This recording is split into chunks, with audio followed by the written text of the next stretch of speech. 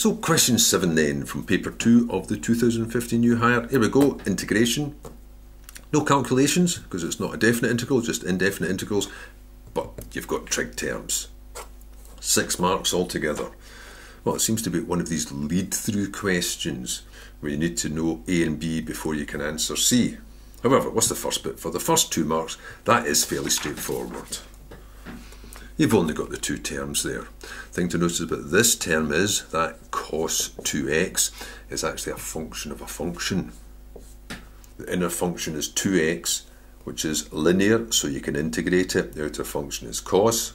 So using the chain rule as you would call it, if you were differentiating, you'd multiply by the derivative of the inner function. If you're integrating, you do the opposite, divide. So integrating the outside, cos goes back to sine because sine becomes cos. So it goes to sine 2x and that's just a coefficient. However, you then divide by the derivative, so it's divide by 2, so I'll make that 3 upon 2. 1 just goes back up to x and put in a constant, and there it's done.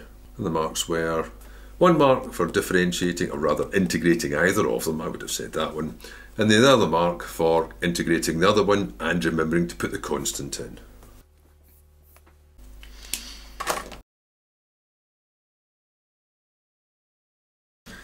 Now, part B, for two marks, you've got this little identity here, and of course, that's the thing with trigonometry. There's all sorts of ways you can rearrange trigonometrical expressions. In this case, it says, show that this is equivalent to that. This isn't an equation to solve. This isn't a sort of a double angle equation here. This isn't an equation to solve because these two sides are identical. They'll be the same no matter what value of x you choose. If you tried to rearrange that equation to solve that equation, you just end up with 0 equals 0 because the two sides are identical. No, it's an identity. I'll, I think I'll set it out as an identity. I'll start with the left-hand side. The left-hand side is 3 cos 2x plus 1. And in an identity, I've got to try and change it into this. So you just look at what have I got and what do I want to change it into. Well, I've got two x's and I want single x's, so I want rid of that. And I want squares to appear, and I don't want that one. I don't want any numbers. So the first obvious step is then to say, well, I know something that will change a double angle into single angles, and that's that expansion cos 2x. And since I've got both of them mentioned, I'll use that form. Cos squared x minus sine squared x.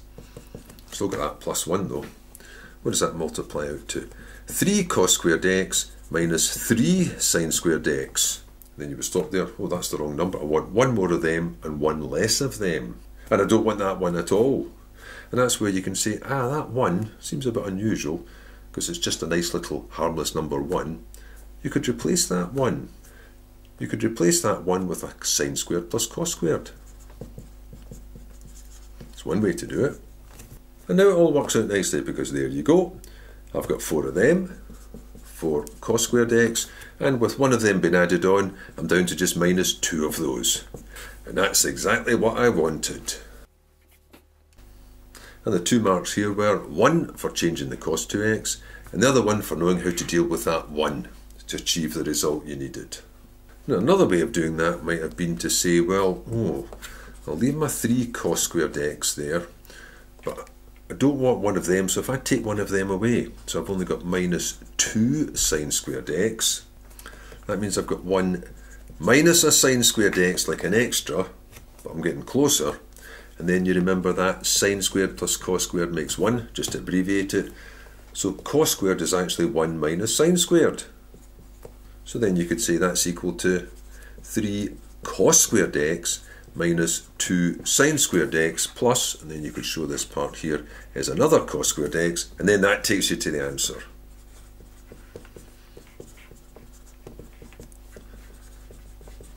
But that's slightly longer to set out be much neater just to say, oh, a 1 can get changed into a sine squared plus cos squared.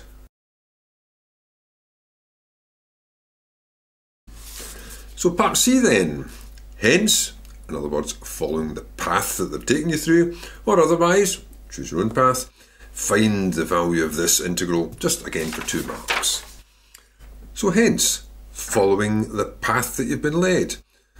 You integrated this because that was perfectly straightforward. And then you found that this was the same as this expression.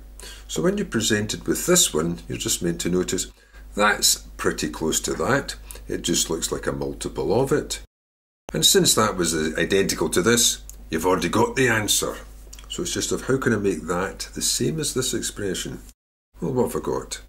If I actually had 4 cos squared x minus 2 sine squared x, then the answer would be this straight away. But that's not quite this, so what's the difference then? Well, they're the other way around, so it's the negative of it, and these seem to be double those, so if I did negative a half times that, that would be the required thing. So since this is negative a half times this, then this is negative a half times that. We'll just put that down.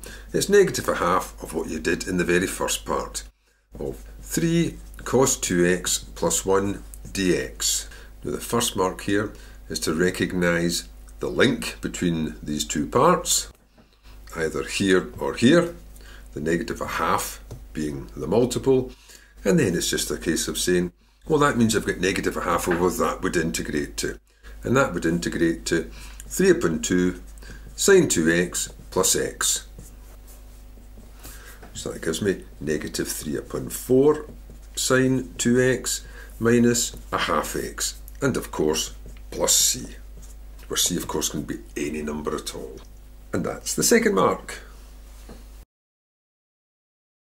Now, the otherwise part, obviously hence meant they've led you through it so you've got all the clues there. But otherwise part would just be, what if we were just to integrate that from scratch, as if that were the question on its own with no other assistance? Again, you'd have to realise you don't know how to integrate a function of a trigonometrical term. So these would have to be changed. You do know how to integrate trigonometrical terms if it's just some multiple of the angle, because then the inner function's just a linear one. So you'd have to say to yourself, can I change the square of sine just into sine or cos of a multiple of an angle? And of course, yes you can. You'd say, well, Sine squares come from cos 2x. Cos 2x is equal to 1 minus 2 sine squared x.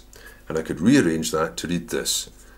2 sine squared x would be 1 minus cos 2x. So sine squared x would be halving it. A half minus a half. Cos 2x, that'd replace that one. Similarly, cos squared, I can get that from a double angle. Cos 2x, is 2 cos squared x minus 1. And then instead of just rearranging that to read cos x equals, and then multiplying it by negative 2, which you could do because I'm just going to substitute it, I could just say, well, I can just get that It's most, more or less what I want there. So if I take that across, negative 2 cos squared x would be negative 1 minus cos 2x. And there's my two substitutions. So sine, sine squared x could be replaced by a half minus a half cos 2x. And I'm not subtracting an expression because that's what I've got. This whole expression, negative 2 cos squared x, is minus 1 minus cos 2x. Just tidy it up. A half minus 1 is negative a half. Negative a half minus another 1 is minus 3 upon 2. Almost there. Uh, now everything can get integrated. That's easy to integrate, and I can integrate that because it is a trig function of just a linear one. So now I've got negative a half x. Whoops. Cos goes back to sine of 2x, but divide by that. So it was over 2, it'll now be over 4. And then plus c. There you go, same as before. Just doing it from scratch, if you like.